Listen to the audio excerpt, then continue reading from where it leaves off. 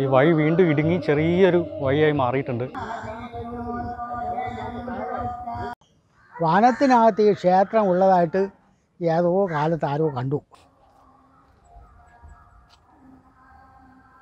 വട്ടെഴുത്തെന്ന് പറയുന്ന മലയാളത്തിന്റെ തന്നെ ഏറ്റവും പ്രാചീനമായിട്ടുള്ള എഴുത്ത് സമ്പ്രദായം. പാലം തുറന്നോ?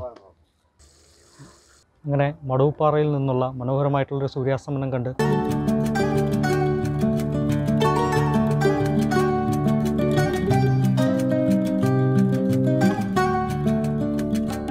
ഞാനിപ്പോൾ ഉള്ളത് കേരളത്തിലെ തന്നെ ഏറ്റവും പ്രാചീനമായ ഗുഹാക്ഷേത്രങ്ങളിൽ ഒന്നിലാണ്. ഞാനിപ്പോൾ നിൽക്കുന്നത് തിരുവനന്തപുരത്തെ വടവൂർപ്പാറ ഗുഹാക്ഷേത്രത്തിലേക്കാണ്. പുതിയൊരു വീഡിയോയിലേക്ക് എല്ലാവർക്കും സ്വാഗതം.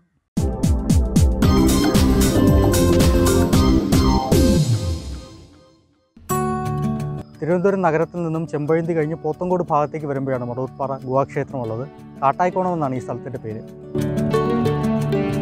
ഞാനിപ്പോൾ ക്ഷേത്രത്തിന്റെ പടികൾ തുടങ്ങുന്ന ഭാഗത്താണുള്ളത്. ഇവിടുന്ന് ഏതാണ്ട് ഒരു നൂറ്റി അൻപത് പടികൾ കയറി നമുക്ക് ക്ഷേത്രത്തിന്റെ താഴെ എത്താൻ പറ്റും. അവിടെ നിന്ന് പിന്നീട് ഒരു മുപ്പത്തി മൂന്ന് പടികൾ നമുക്ക് ആ പാറയിന്റെ മേളിൽ കൂടി കയറി കഴിഞ്ഞാൽ നമുക്ക് ക്ഷേത്രത്തിലെത്താൻ പറ്റും.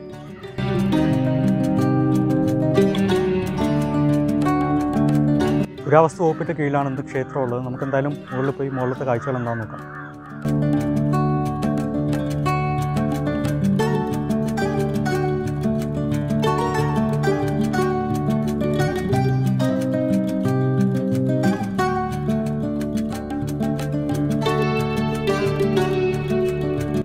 അങ്ങനെ നടന്ന് ക്ഷേത്രത്തിന്റെ മുകളിലെത്തി. ക്ഷേത്രം ഇപ്പം അടച്ചിട്ടിരിക്കുകയാണ്. വൈകുന്നേരം തുറക്കത്തുള്ളൂ. എ ഡി എട്ടാം നൂറ്റാണ്ടിലാണ് ഈ ക്ഷേത്രത്തിന്റെ നിർമ്മിതി എന്ന് പറയപ്പെടുന്നുണ്ട്. അന്ന് ഇതൊരു ബുദ്ധക്ഷേത്രമാണെന്നും ജൈനക്ഷേത്രമാണെന്നും എല്ലാം പല അഭിപ്രായങ്ങളുണ്ട്. ഇന്നിതൊരു ശിവക്ഷേത്രമാണ്. ഏറ്റവും പ്രധാനമായിട്ട് ഇവിടെയുള്ള നന്ദിയുടെ വിഗ്രഹമാണെങ്കിലും ശരി ഇവിടെയുള്ള പ്രധാന പ്രതിഷ്ഠയായ ശിവന്റെ പ്രതിഷ്ഠയാണെങ്കിലും ശരി ഇതെല്ലാം അവർ എട്ടാം നൂറ്റാണ്ട് കാലഘട്ടം മുതൽ തന്നെ ഇവിടെ ഉള്ളതാണെന്ന് വിശ്വസിച്ച് പോരുന്നുണ്ട്. ഇവിടെ നമുക്ക് നിരവധി പ്രാചീന ലിപികൾ കാണാൻ പറ്റും. വട്ടെഴുത്തെന്ന് പറയുന്ന മലയാളത്തിന്റെ തന്നെ ഏറ്റവും പ്രാചീനമായിട്ടുള്ള എഴുത്ത് സമ്പ്രദായം ലിപി നമുക്കിവിടെ കാണാൻ സാധിക്കുന്നത്.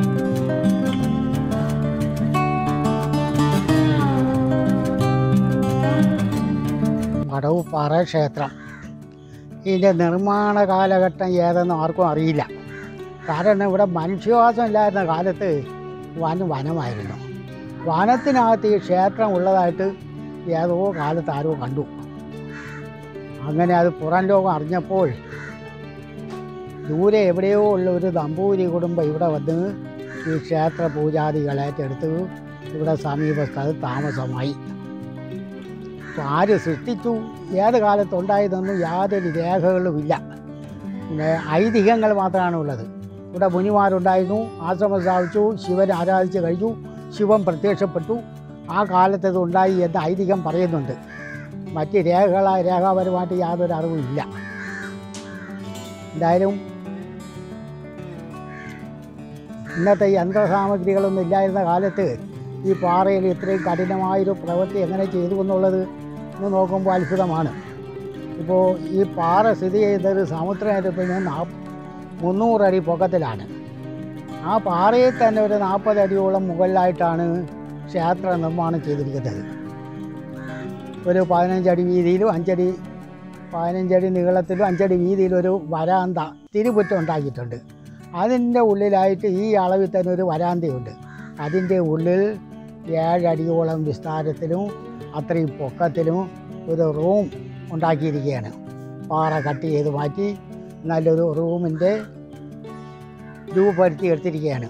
ഇതിന്റെ മധ്യത്തൊരു പീഠവും ശിവലിംഗവും ഉണ്ട്. ഇതും വേറെ ചെയ്തു വെച്ചതല്ല ഈ പാറയെ രൂപപ്പെടുത്തിയതാണ് ആ പീഠത്തിന് ചുറ്റും ഒരാൾ നടന്നുകൊള്ള സൗകര്യമുണ്ട്. അങ്ങനെ ഇവിടെ കഠിനമായ ഒരു പ്രവൃത്തി അന്നത്തെ കാലത്ത് എങ്ങനെയോ അവർ ചെയ്തു. ഇന്ന് ധാരാളം ഭക്തജനങ്ങൾക്ക് ഒരു വിശ്വാസ കേന്ദ്രമാണ് ഇവിടം. അനേകം പേര് വരുന്നുണ്ട്. പ്രാർത്ഥന കൊണ്ട് ഫലമുണ്ട്. അങ്ങനെ ആശ്വസിക്കുന്ന ഭക്തജനങ്ങളുണ്ട്. ക്ഷേത്രത്തിന്റെ തൊട്ടടുത്ത് തന്നെയുള്ള ഒരു ചെറിയ വഴിയിലൂടെ നമുക്ക് പോയി കഴിഞ്ഞാൽ ഈ പാറയുടെ മുകളിലെത്താൻ സാധിക്കും. നമുക്ക് ആ വഴിയൊന്ന് പോയി നോക്കാം. ഇത് ക്ഷേത്രത്തിന്റെ തന്നെ സൈഡിലുള്ള ഒരു വഴിയാണ്. ഈ സൈഡിലുള്ള വഴിയിൽ കൂടി വന്നു കഴിഞ്ഞാൽ നമുക്ക് കയറി നമുക്ക് പാറയുടെ മുകളിലെത്താൻ സാധിക്കും. ക്ഷേത്രത്തിൽ വരുന്നവർക്ക് ഈ വഴിയാണ് എളുപ്പത്തിൽ എത്താൻ സാധിക്കുന്നത്. ഇത് ക്ഷേത്രത്തിൽ വരാത്തവരുണ്ടെങ്കിൽ അവർക്ക് താഴെ വന്നിട്ട് വേറൊരു പടിക്കെട്ടുണ്ട്. ആ പടിക്കെട്ട് വഴി കയറി പാറയുടെ മുകളിലെത്താൻ സാധിക്കും. വഴി വീണ്ടും ഇടുങ്ങി ചെറിയൊരു വഴിയായി മാറിയിട്ടുണ്ട്.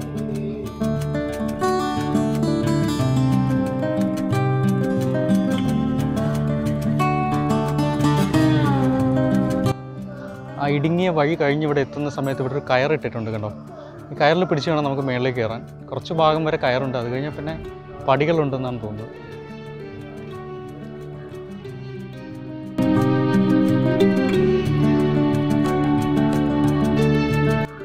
നമ്മളിപ്പോൾ ക്ഷേത്രത്തിനടുത്തുള്ള വഴിയിലൂടെയാണ് വന്നത്. ആ വഴി അല്ലാതെ മറ്റൊരു വഴി ഉണ്ടെന്ന് ഞാൻ നേരത്തെ പറഞ്ഞല്ലോ. ഈ വഴി നേരെ താഴോട്ട് പോയി കഴിഞ്ഞാൽ നമുക്ക് ആ വഴിയിൽ ചെന്ന് കയറാൻ സാധിക്കും. നമുക്ക് അങ്ങോട്ടൊന്ന് പോയി നോക്കാം.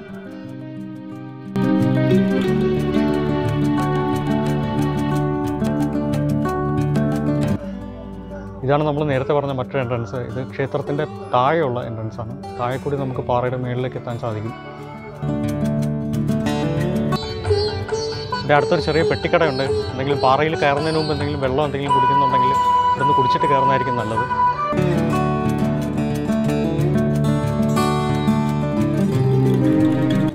പാറയിൽ എഴുതരുതെന്ന് ഇവിടെ കൃത്യമായിട്ട് പുറയിൽ എഴുതി വെച്ചിട്ടുണ്ട്. പക്ഷേ എന്റെ തൊട്ടടുത്തുള്ള പാറയിൽ തന്നെ എഴുതി വെച്ചിട്ടുണ്ട്.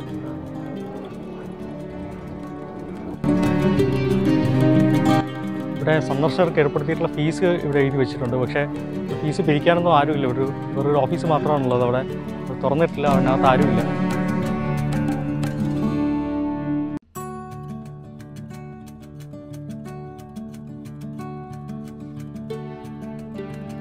കുറച്ച് ദൂരം നമ്മൾ പാറയിലൂടെ തന്നെ വരണം. അത് കഴിഞ്ഞാൽ പിന്നെ അവിടെ നിന്ന് മേലോട്ട് കയറാനായിട്ട് ഇവിടെ പടികളുണ്ട്. പടികളിൽ കൂടെ മേളിൽ കയറാം.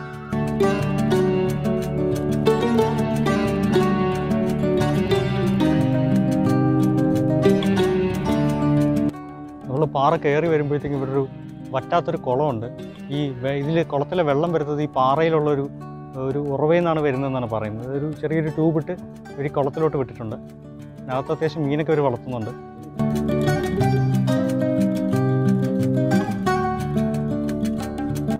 പടി കയറി മുകളിലെത്തി എത്തിക്കഴിഞ്ഞാൽ നമുക്ക് ഈ സ്ഥലത്തിന്റെ ഒരു നല്ലൊരു കാഴ്ച ദൂരക്കാഴ്ച നമുക്ക് അവിടെ നിന്ന് കിട്ടുമെന്നാണ് പറയുന്നത്. നമുക്ക് എന്തായാലും പോയി നോക്കാം.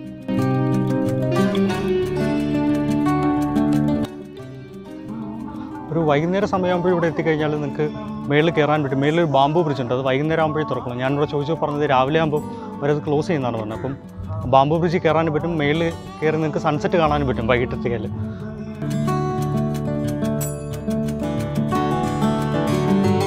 ഞാൻ ആ പടിയെല്ലാം കയറി ഇപ്പോൾ മേളിൽ എത്തിയിട്ടുണ്ട്. മേളിൽ ഇനിയും മേളിൽ പോകാനുണ്ട്. ബാമ്പു ബ്രിഡ്ജിലോട്ട് ഇനിയും കുറച്ചധികം നടന്ന് കയറാനുണ്ട്. ഇപ്പോൾ തന്നെ കാണാം.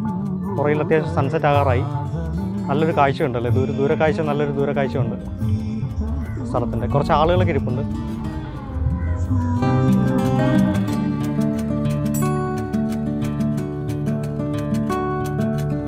കുറച്ച് നാളുകൾക്ക് മുമ്പ് ഈ സ്ഥലം ടൂറിസത്തിന് വേണ്ടി നവീകരിക്കുകയും ഇവിടെ കുറേ കുറച്ചധികം ഫെസിലിറ്റീസ് വരികയും ചെയ്തു. അതിൽ പ്രധാനപ്പെട്ടാണ് ഇവിടെ ഒരു ആംഫി തിയേറ്റർ ഉണ്ട്. അതുപോലെ തന്നെ ഒരു റെസ്റ്റോറന്റ് ഉണ്ട്. പിന്നെ ഈ ബാംബു ബ്രിഡ്ജിന് ഒരു മേൽക്കൂരയൊക്കെ വെച്ചു. അതൊക്കെ ഇപ്പോഴും വന്നതാണ്. ഈ സ്ഥലത്തിന്റെ ഏറ്റവും വലിയൊരു കുഴപ്പമായിട്ട് എനിക്ക് തോന്നിയത് ഇവിടെ അത്യാവശ്യം ഒച്ചത്തിൽ തന്നെ ഒരു വലിയ സ്പീക്കർ വെച്ചിട്ട് പാട്ടിട്ടിട്ടുണ്ട്. നല്ല പാട്ടാണെങ്കിൽ കൂടി ഈ ഒരു സ്ഥലത്തിന്റെ ഒരു ശാന്തത അതെല്ലാം നശിപ്പിക്കുന്ന ഒരു സംഗതിയാണ് ഈ പാട്ടെന്ന് എനിക്ക് തോന്നി. മടൂർപ്പാറ നവീകരിച്ചതിന്റെ ഭാഗമായിട്ട് ഇവിടെ വന്നൊരു സംഗതിയാണ് അവിടുത്തെ ചിൽഡ്രൻസ് പാർക്ക്. അപ്പോൾ അത്യാവശ്യം വൈകുന്നേരം കുട്ടികളൊക്കെ ആയിട്ട് വന്നു കഴിഞ്ഞാൽ ഇവിടെ കുറച്ച് സമയം സ്പെൻഡ് ചെയ്യാൻ പറ്റും. ഞാനിപ്പോൾ റെസ്റ്റോറന്റ് അവിടെയാണ് ഉള്ളത്? ഇത് ഓപ്പൺ അല്ല എന്നാണ് തോന്നുന്നത്. സൺസെറ്റ് ആകാറായിട്ടുണ്ട്. അപ്പം അത്യാവശ്യം തിരക്കൊക്കെ ആയിട്ട് തുടങ്ങിയിട്ടുണ്ട് ഇവിടെ. പാറയിലെത്തി നടന്ന് ക്ഷീണിക്കുന്നവർക്ക് ഇരിക്കാൻ വേണ്ടിയിട്ട് ഇവിടെ അത്യാവശ്യം കുറച്ച് കൂടാരങ്ങളൊക്കെ ഉണ്ടാക്കി വെച്ചിട്ടുണ്ട്. കസാരയൊക്കെ ഉണ്ട്.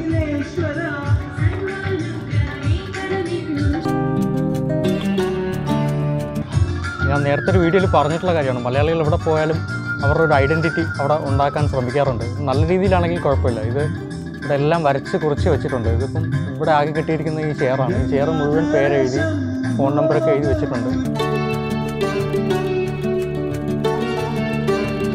കൂടാരത്തിൽ നിൽക്കുമ്പോൾ തന്നെ ഇവിടെ സൂര്യൻ അസ്തമിച്ച് വരുന്ന കാണാൻ ഒരു പ്രത്യേക ഭംഗിയുണ്ട്. എന്നാലും നമുക്ക് ബാംബു ബ്രിഡ്ജ് കയറേണ്ടതായിട്ടുണ്ട്. അവിടെ എന്നാൽ കുറച്ചുകൂടി ഉയരത്തിൽ കയറി നമുക്ക് സൺസെറ്റ് കാണാമെന്നാണ് വിചാരിക്കുന്നത്.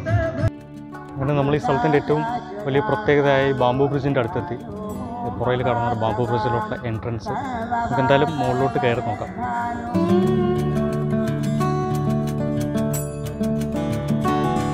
അങ്ങനെ നമ്മൾ ബാംബു ബ്രിഡ്ജിന്റെ മേളിൽ കയറി ഇതെന്ന് പറഞ്ഞാൽ താഴെയുള്ള പാറയിൽ നിന്ന് ഒരു പാറയിലോട്ട് കുറച്ച് കാട് പോലത്തെ ഒരു സ്ഥലമുണ്ട്. ആ ആ സ്ഥലം നമ്മൾ സ്കിപ്പ് ചെയ്തിട്ട് ഈ പാലത്തിൽ കൂടെ പോവുകയാണ് ചെയ്യുന്നത്.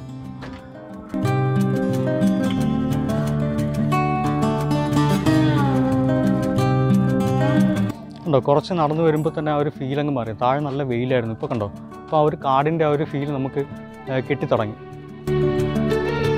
ഇവിടെ നടന്നു പോകുന്ന സ്ഥലമെല്ലാം മുള കൊണ്ടാണ് ഉണ്ടാക്കിയിട്ടുണ്ടായിരുന്നത്. ഈ മേളിൽ ഇതെല്ലാം കമ്പിയാണ് സൈഡിലുള്ള എല്ലാം കമ്പിയാണ്. മേഞ്ഞിരിക്കുന്നത് ഓലയാണ്.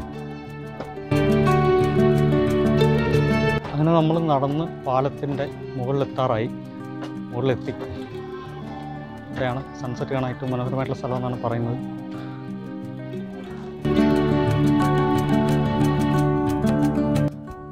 ഇതാണ് ഇവിടെ നമുക്ക് നടന്ന് എത്തിച്ചേരാൻ പറ്റുന്ന ഏറ്റവും ഉയർന്ന സ്ഥലം. നമ്മൾ വന്ന പാലമാണ് താഴെ കാണുന്നത്.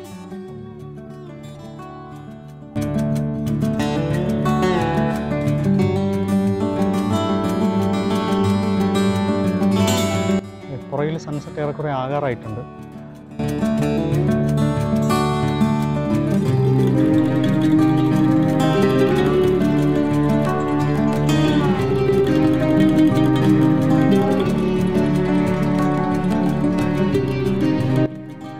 ഇങ്ങനെ മടവുപ്പാറയിൽ നിന്നുള്ള മനോഹരമായിട്ടുള്ളൊരു സൂര്യാസ്തമനം കണ്ട് നമ്മൾ താഴേക്ക് ഇറങ്ങാൻ പോവുകയാണ്. മടവുപ്പാറ ഗുഹാക്ഷേത്രത്തിന്റെയും ഈ സ്ഥലത്തിന്റെയും എല്ലാം കാഴ്ചകൾ നിങ്ങൾക്ക് ഇഷ്ടമായെന്ന് വിശ്വസിക്കുന്നു. മറ്റൊരു വീഡിയോയുമായി മറ്റൊരു ദിവസം.